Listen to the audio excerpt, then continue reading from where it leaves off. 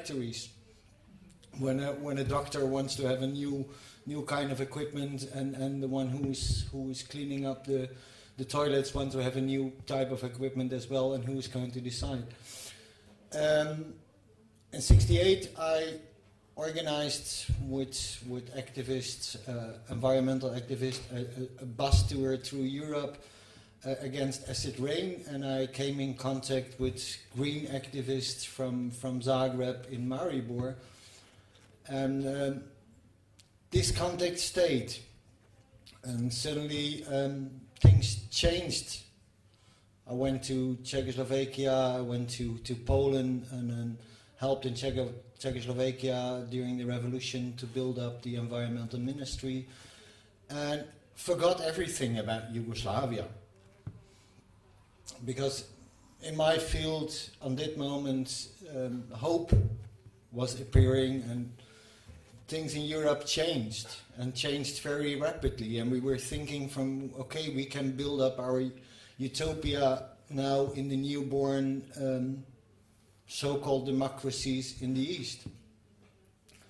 And then suddenly you got this, this message from things are not going. I mean, my mother lives in Maastricht, and so I saw these buses full of, of women coming to Maastricht and, and fighting for their, their sons would have to go into the army or had to go to the front line and said we had to stop this.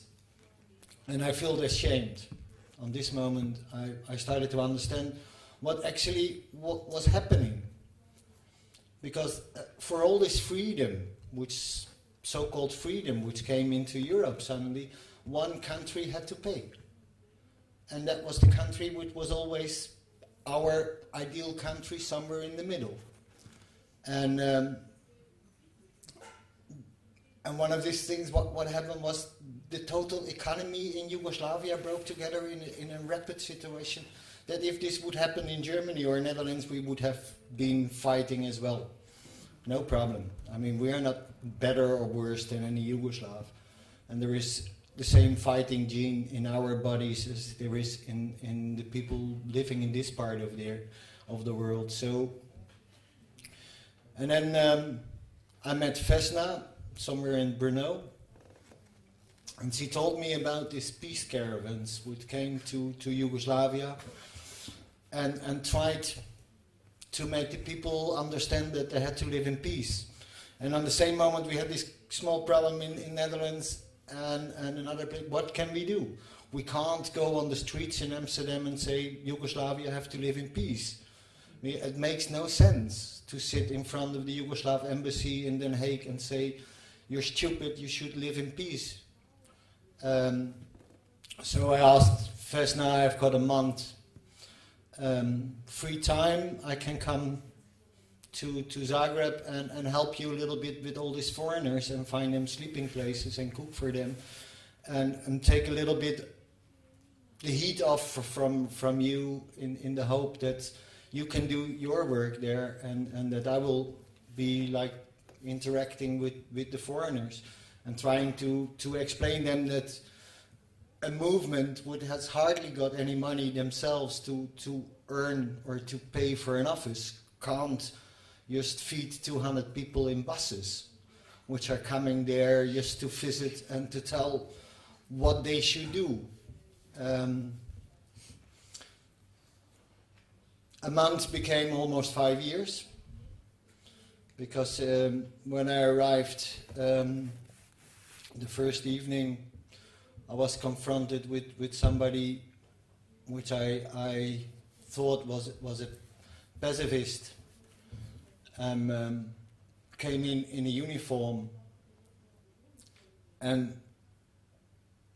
he told me that, that he, he had to defend the, the, the village of his, his grandmother. And me being a pacifist, this was something like, shit, this is the real um,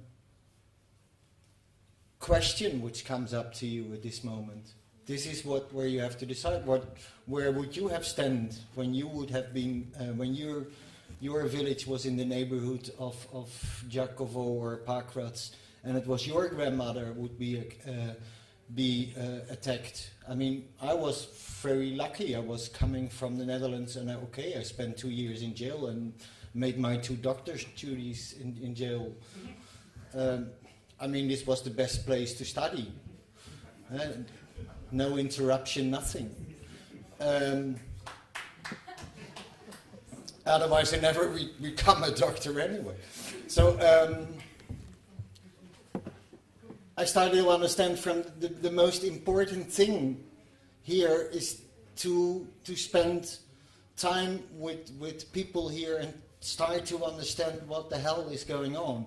With my not being able to speak Croatian or Serbo-Croatian, as it's still cold and that was not making it very easy uh, to understand what was going on. But this problem almost everybody in the whole country had, even when they could understand the language. Um, so really, the really thing was from okay, uh, Eric came and, and others came, and we made. Um, uh, non-conflict, non-violent conflict resolution in, in Osijek, and we were sitting in a in a room, and and the grenades, you could hear the grenades outside, and you were thinking, "From we are stupid. This is not, this is not what peace activists can do in such a moment." I mean, this is going our way. We think that when we teach these people, maybe, what the hell, they will stop fighting. which was quite a, a, ridiculous feeling. And I know that my office at that moment where I was working was, was Green Action, and on the other side of the street was a big gas container. And everything, when the sirens went off, I was thinking about this big gas container and, and felt more or less afraid. Um, and started to write about it. And um, I had this, this experience with with the not existing internet. So I was using a very small modem and sending these stories by by uh, a host in, in London and send it into the world as calling it the Zagreb Diary. And not really knowing what, what, what's happening with these stories because I was just writing whatever I felt, whatever happened to me as being a normal idiot with a small computer somewhere in Zagreb and somewhere far away from the front lines, describing the situation in a town, in, in a refugee camp, in a station. I mean, this was the moment that hundreds and thousands of refugees were sit, sitting in the station here in, in Zagreb, coming from Bosnia and, and, and where people were sitting on, on Vukovar Avenue in, in a big hotel and were the heroes of Croatia and nobody was taking care about them. And there the idea came from, come, let's invite people. Yeah? There is always, in Germany, there is this, this saying from, uh, imagine there is a war and nobody came. Let's change this word and say, imagine there is a war and we're going there. And we, we start to be so many people that they can't uh, go on uh, fighting. This was, of course, a very idealistic idea. But um, I was, I started to, to say, come, let's, let's organize camps with children in refugee camps. Let's just start to, in, to invite people from all over the world to show people that they're not alone and to show these children that when you're from different origin, when you have got a different ethnical background, that you not necessarily have to be an enemy of each other. Uh, this was one of the fundamental ideas to have different people from different nationality and show them from okay, they can work together Dutch people can work together with Germans, even as long as there is no football involved. Um, and we started doing this, and, and up to the moment that that um, about a week before we started in um, uh, in Hotel uh, Vukovar, as we call it, Hotel International is probably the right name. Um, nobody reacted. There was not one name on our list from people who wanted to come. and then something happened which, which turned the situation in the world incredible. There was a little train standing on the border side between Croatia and Slovenia. And this train was full of refugees who wanted to go to Germany. And the Slovenes didn't let them in. And it went on for three or four days. And on this moment, our telephone in ARK started to ring and didn't stop for about four years from people who wanted to come and help and do something because this was the this was the most ridiculous situation abroad. It was it was our war, even when we weren't living here. It was a bloody war in in Europe, and up to then, in our lifetime, we had wars where black people fighted black people, or red people fighted black people, or white people fighted yellow people. But the fact that white people were fighting white people hit us incredible. It made it so far that all, all the professors and all the, all the people which tried to explain the war here were trying to explain there in the Balkans there lives a very special type of people. they didn't took part in European civilization. Um, you can see it, it's all over history, they always did it.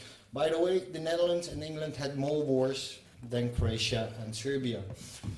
Just to, um, to make it clear that it's historical completely um, wrong, but it made it for us Europeans quite quite easy to um, to understand that white people were fighting white people. Um, Eric Bachman came by and said, "From you are using a, a network from England. It cost you a hell of a money." And I said, "Yeah." I mean, the money I had with me when I arrived in Zagreb is gone, and from what I'm going to live, I don't know. But there is a reason to stay here. Um, and, and things are happening.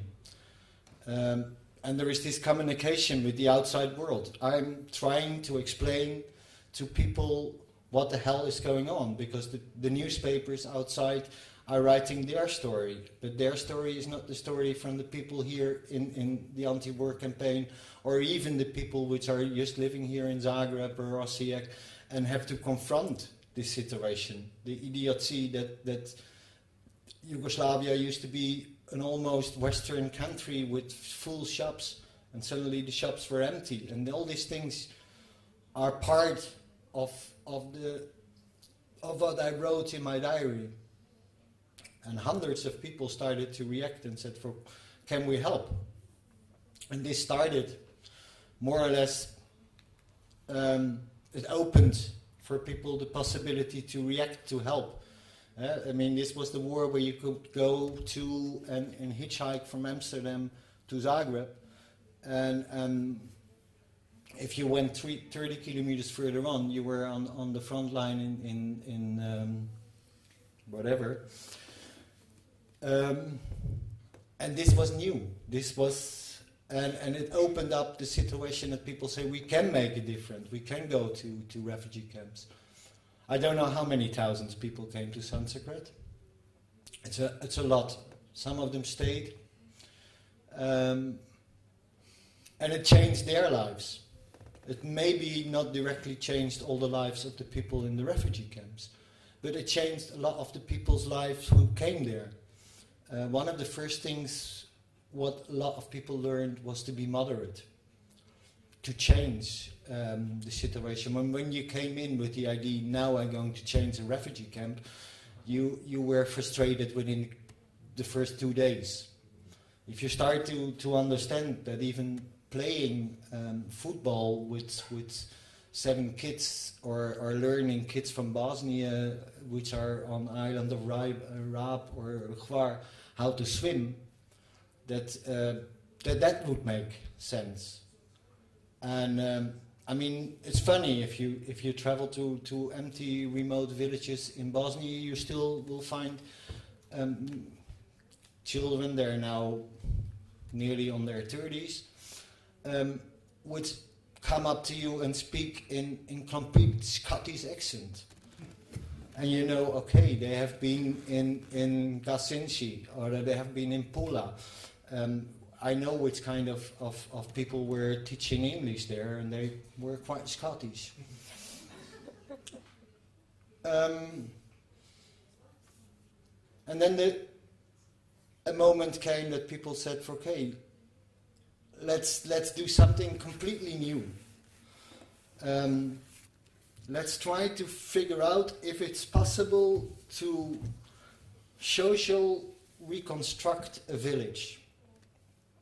So if we can bring a village together which is on two sides of the front line, and the village was Pakrac, where where a lot of people said it all all started somehow. And we went to, to Pakrac. I mean, in, in, between the, the whole ZaMir network was built up with with BBS systems in Zagreb, in, in Beograd, in Pristina, in Sarajevo, and seven other places. And, and I mean, we have got, thanks to a lot of technicians here also, um, we have got still the honor um, that, that all along the war we were the only working connection towards Sarajevo, um, which was a complete new uh, experience. People people could send email messages from America and, and reached out to their families in Sarajevo and, and got an answer. And, and there was no other way of doing it at that moment in time. Um, but this, I can make, I can wrap it up slowly afterwards, because there, and then we, we started in, in, in, Pakrac, and Pakrac was like deep down, people survived.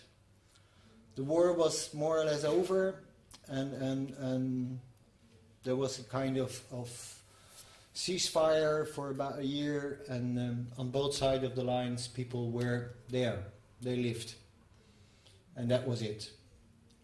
Nothing got real rebuilded, no ideas how to go on with this situation. And there was kids and there were young people. And we started to think, okay, when we can be idiots in refugee camps, we can be idiots in Pakrac as well. So what we are going to organize, we organize youth clubs, we organize playing with children. Um, whenever people on the Croatian side ask us to build something, we will say we will do it, but we will build the similar thing on the Serbian side. And in the beginning, I was the only one which was allowed to cross the front line um, which was, I mean, there was a lot of UN cars going up and down the front line, but uh, there was no mu not much people walking, and I, I was the only one which was walking with a red jacket so that everybody could see that I was going over. And whenever I came back to, to one of the sites, they were asking me, what the hell is going on on the other side? Uh, is that that person still alive?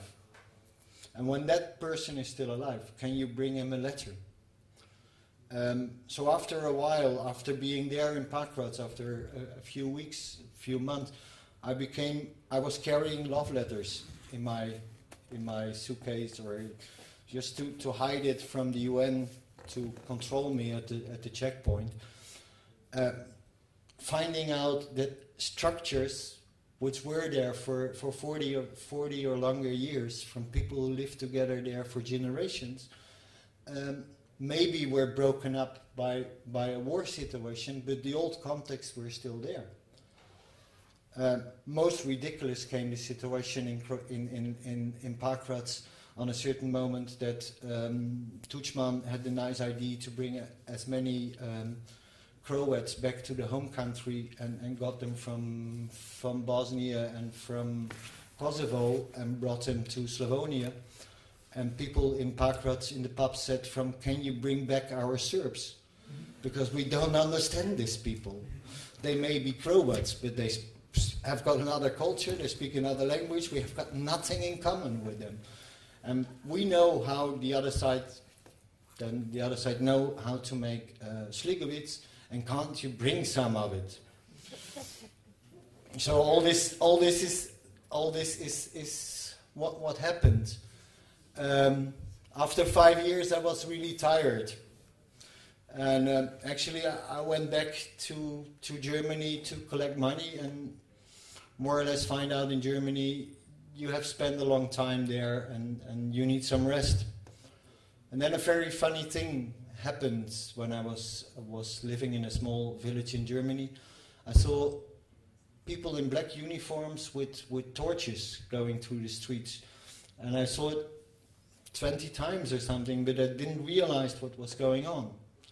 Because being here five years, I saw black uniforms going through the streets, but they were dangerous. They had Kalashnikovs. And these guys only had torches. Until I started to understand from, hey, there's refugees in this town, and these are, are the neo-Nazis in the east of, of Germany, and we have to do something against it. And there were, in this town, there were 70, 70 Bosnian refugees from, uh, from Novi, yeah, Novi, Bosanski Novi. And they couldn't go home, or they were sent home because the war was over. So I went to the, to the ministry and said, Are you completely crazy? These are Muslims. If you send them to Novi now, this is sending them to, to a situation which is not livable for them. And then something very funny. I was talking with the mayor of this town, and we had a long talk in the pubs. Three or four nights we have been talking about this.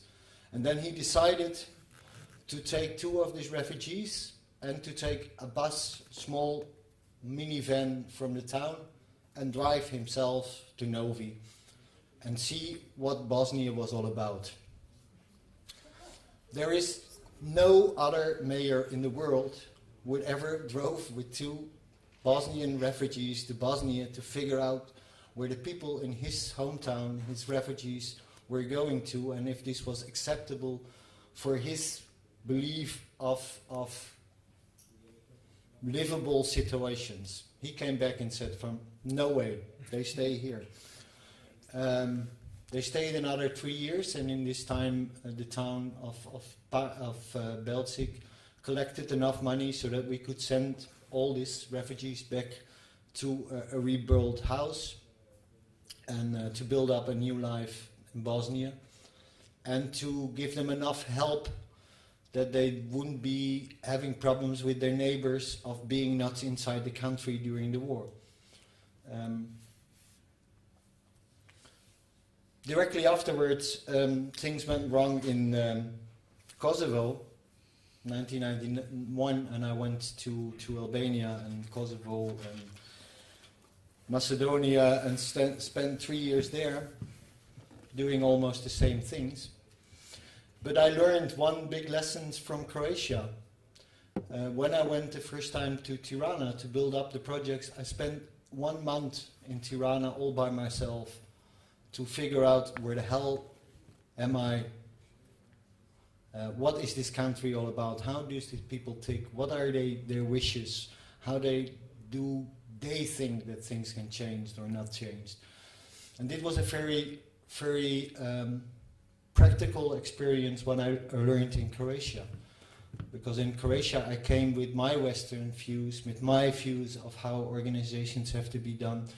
And um, after being taught for almost four years that things in the Balkans were completely different than in the rest of the world, from which I'm still confused, I'm still convinced that it isn't, but at least I, I gave the people in the Balkans the feeling that they are unique and those problems which are taking place here can't play, take place anywhere else. um, and for the time being, I'm, I'm, I'm just what you call a lifetime activist. My, my, my last big things, what I'm doing at the time, is being busy with, with food. Um, just finished a film last year in, in Germany called Taste the Waste, which is about um, the fact that 50% of all the food in the world gets spoiled. Um, and um, I've got a very precious